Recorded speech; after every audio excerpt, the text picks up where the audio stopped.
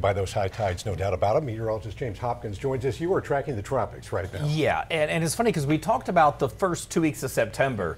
Boring. We like it that way. Yeah. I'm not, com- I'm not complaining, but that's only the third time that's happened since the satellite era in the 60s that we've had no nothing in the tropics for the first two weeks. And now, of course, you know things got to wake up, and we're watching quite a bit of activity out there. Let's get right to it because again, we have been talking about, of course, Hurricane Gabrielle, and it's a Category 4 storm, 130 mile per hour winds moving to the east northeast at 21 miles an hour, and you can tell when it picks up this speed, that means it's getting picked up by the jet stream, and it's going to quickly move its way up and out, which again, this wasn't a bother to us.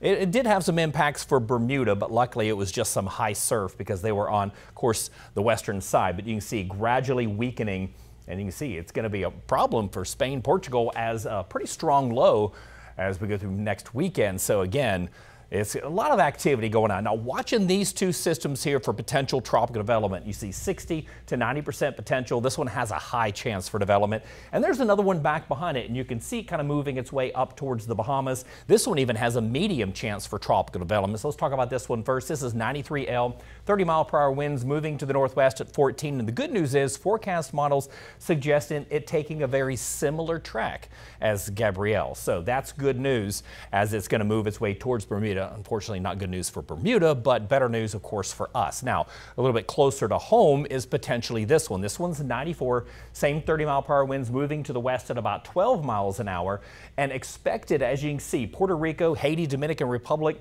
Not all the forecast models have it living past that. Some do.